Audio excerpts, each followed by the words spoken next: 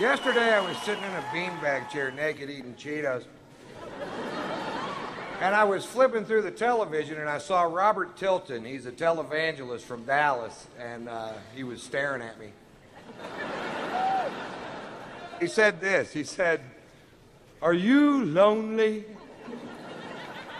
Yeah.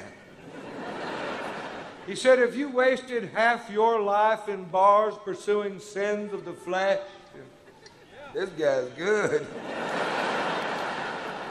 He said, Are you sitting in a beanbag chair naked eating Cheetos? yes, sir. He said, Do you feel the urge to get up and send me a thousand dollars? Close.